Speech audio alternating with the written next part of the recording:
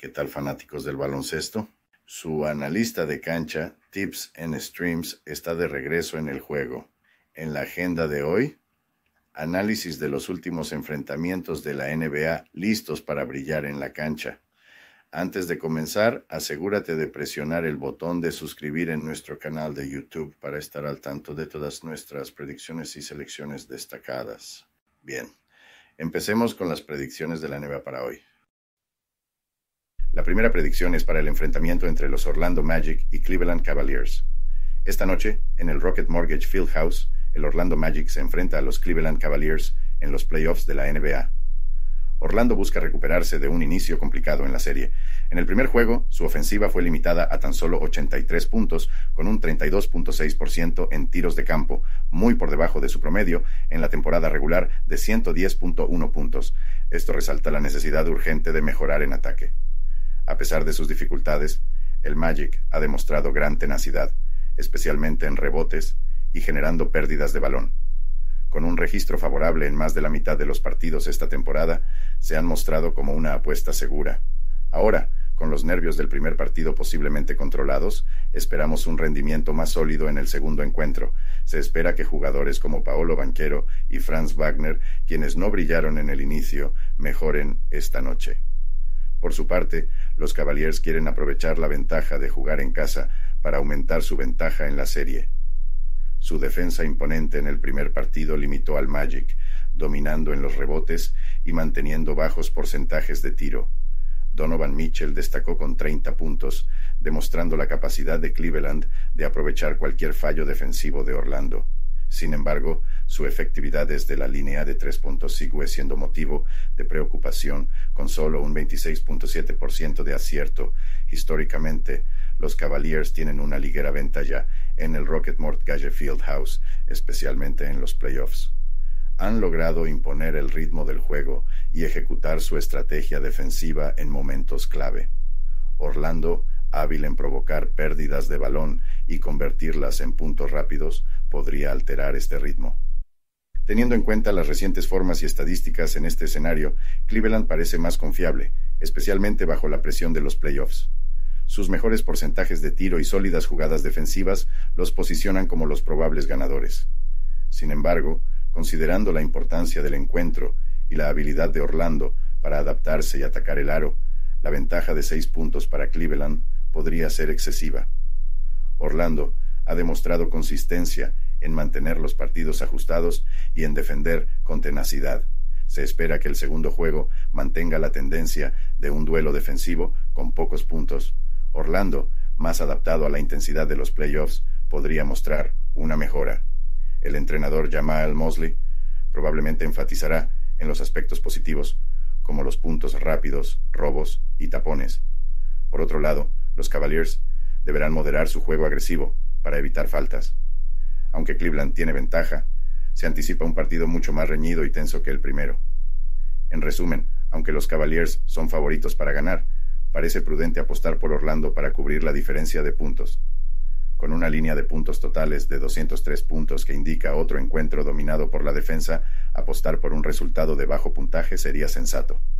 Mi pronóstico, Orlando cubrirá la diferencia en una batalla ferozmente defensiva. La siguiente predicción para el día de hoy es para el juego entre los Philadelphia 76ers y New York Knicks. El enfrentamiento de esta noche en el Madison Square Garden presenta a los Philadelphia 76ers buscando igualar su serie de cuartos de final contra los New York Knicks. Los Knicks le van la delantera one 0 tras su victoria de 104 el pasado sábado. Varios factores clave podrían inclinar la balanza en este intenso duelo. La condición física de la estrella de los 76ers, Joel Embiid, es motivo de preocupación. Aunque dejó el primer partido temporalmente por problemas de rodilla y luego regresó, su influencia fue notable. La salud de Embiid es crucial mientras los 76ers intentan recuperarse, ya que su rendimiento disminuye significativamente sin él. En defensa, los Knicks han demostrado ser sólidos, especialmente limitando a los 76ers a solo un 34.3% en tiros de tres puntos en el primer partido. Su dominio en los rebotes, superando a los Sixers 55-33 con 23 rebotes ofensivos, fue clave para su victoria. Ambos equipos han mostrado puntos fuertes y débiles que podrían cambiar el juego.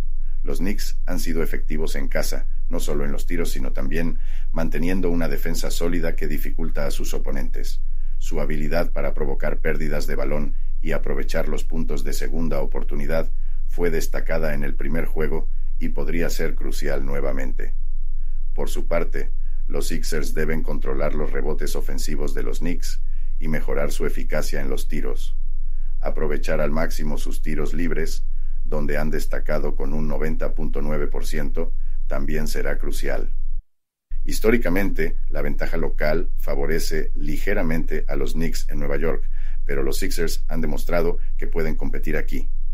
Con Embiid luchando a pesar de las molestias, tienen buenas posibilidades de reducir la diferencia. Con los Knicks favoritos por seis puntos, esperamos un partido rélido, probablemente influenciado por el ritmo y las pérdidas de balón. Los Knicks intentarán mantener su fortaleza defensiva, pero se espera que los Sixers ajusten su estrategia para recuperarse tanto en el marcador como en la táctica. El plan de juego del entrenador Nick Nurse para frenar a Branson fue efectivo, pero se necesitan ajustes para manejar a los otros jugadores de los Knicks que sobresalieron en el primer partido. A pesar de la actuación decente de Embiid, no está claro si su juego menos dominante se debió a limitaciones o falta de confianza en su rodilla, aunque una ventaja de 2-0 para los Knicks no sería el fin del mundo para los Sixers. Con los próximos juegos en casa se espera un enfoque renovado en el segundo juego, donde probablemente veremos a Embiid más presente en la zona de pintura y optando por menos tiros perimetrales. Dadas las dinámicas, las recientes actuaciones y el espíritu incansable de Embiid, se espera que los 76ers no solo cierren la brecha en el marcador, sino que posiblemente logren una victoria al limitar los tiros de los Knicks y gestionar mejor los rebotes. El resultado dependerá de la capacidad de Filadelfia para adaptarse y contrarrestar las fortalezas de Nueva York, especialmente en rebotes y defensa perimetral. Apuesto por los Philadelphia 76ers para cerrar la diferencia y posiblemente asegurar una victoria. La tercera y última predicción de hoy es para el partido entre Los Ángeles Lakers y Denver Nuggets. Esta noche, los Lakers de Los Ángeles se enfrentan a los Nuggets de Denver en el Ball Arena, con el objetivo de igualar la serie a uno tras una derrota difícil en el primer partido. En ese encuentro, los Lakers mantuvieron una ligera ventaja al medio tiempo, pero perdieron fuerza en la segunda mitad, culminando en una derrota por 114-103. Este resultado subraya la sólida defensa de los Nuggets en casa, como lo demuestra su impresionante registro de 33-8 durante la temporada regular. Anthony Davis destacó por los Lakers con 32 puntos y 14 rebotes, mientras que LeBron James aportó 27 puntos. Sin embargo, el resto del equipo tuvo dificultades, especialmente en los tiros de tres puntos, con un acierto de solo el 27.6%. La actuación de D'Angelo Russell fue especialmente deficiente, fallando tiros que normalmente encesta. El registro de los Lakers fuera de casa esta temporada es de 20-22, indicando que suelen tener problemas lejos de su cancha, aunque últimamente han mostrado mejoría, ganando cuatro de sus últimos cinco partidos fuera de casa. Por otro lado, los Nuggets de Denver aprovecharon su ventaja de local eficazmente. Nikola Jokic dominó con 32 puntos y 12 rebotes, y a pesar de algunas dificultades en los tiros, Jamal Murray sumó 22 puntos. Los Nuggets demostraron su profundidad y fortaleza defensiva, elementos clave en su remontada en la segunda mitad del primer juego. Su dominio continuo en casa ha extendido su racha de victorias sobre los Lakers a nueve juegos. El análisis estadístico revela fortalezas y desafíos para ambos equipos. Los Lakers, aunque robustos ofensivamente, con un promedio de 118 puntos por partido, tienen deficiencias defensivas, permitiendo un promedio de 117.4 puntos. Denver mantiene un juego más equilibrado, anotando 114.9 puntos por partido y limitando a los oponentes a 109.6 puntos. Históricamente los Nuggets han tenido la ventaja en los encuentros en el Ball Arena, lo que podría influir en la dinámica psicológica del partido. A pesar de la capacidad de Denver para aprovechar las debilidades defensivas de los Lakers, especialmente en momentos cruciales, el juego 2 ofrece una oportunidad para que los Lakers ajusten su estrategia. Necesitan controlar los rebotes ofensivos de Denver y fortalecer su defensa contra los tiros de tres puntos.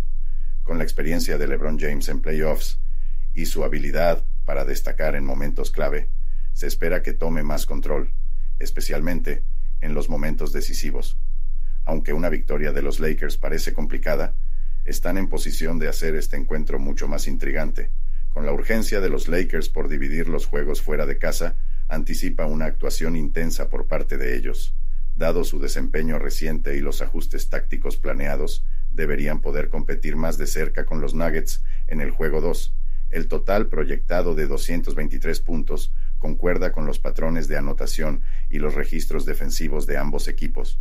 Con ajustes defensivos cruciales, posiblemente en juego para los Lakers, el partido podría inclinarse hacia un total de puntos más reservado de lo anticipado apuesto por los Lakers para que presenten una fuerte competencia y se mantengan firmes en el juego 2.